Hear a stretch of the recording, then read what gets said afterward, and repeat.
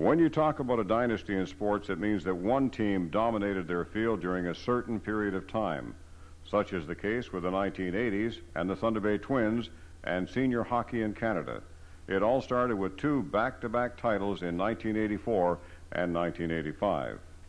The 1983-84 edition of the Thunder Bay Twins handily finished first in league play with a 25-8-1 record, going on to defeat the Steinbach Huskies four games to one to claim the CASH League title, earning the right to face off against the Spokane Chiefs in the Western Final.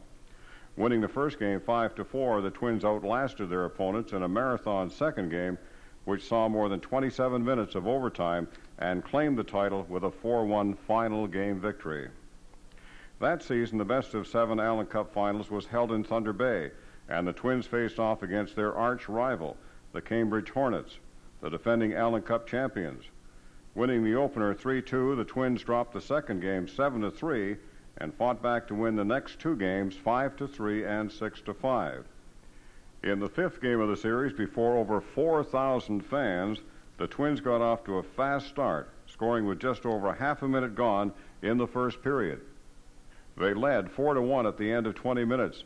Cambridge roared back with two quick goals in the first two minutes of the second period to narrow the gap to just one.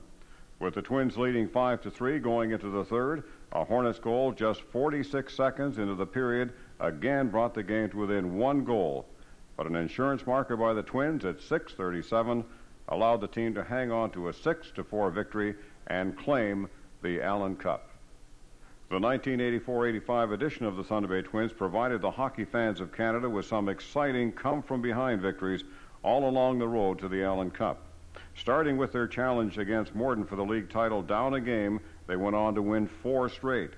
Facing off against the St. Boniface Mohawks, they gave up the first two games and again claimed four straight victories to gain a berth in the Western Finals. Against the Spokane Chiefs, they trailed 3 to 1 and charged back with three wins to win the Western title and gain entry into the Allan Cup final. Their challengers in the Allan Cup final were the Corner Brook Royals, and the entire series was played on their opponent's home ice. Down three games to none and facing elimination, the Twins fought back to tie up the series, forcing a seventh and final game. The Twins scored first, a power play marker at 10:37. Danny Gruen from Clark and Cizmar. In the second period, it was all Thunder Bay. The first scoring play, another power play goal at 2:22. Jim Sambray from Bolduc and Presenger. Then at 13:22, Norm Fullum, a two-on-one break, and he comes up with a good shot. The assist goes to Peter King. At 16:47, Presenger gets the goal. This time, Cizmar and Kiessig pick up the assists. It's a 4-1 hockey game after the second period. Then at 16:38, the backbreaker for the Royals and the insurance goal for the Twins. A pass out front is batted out of the air by Peter King, and it's 5-3.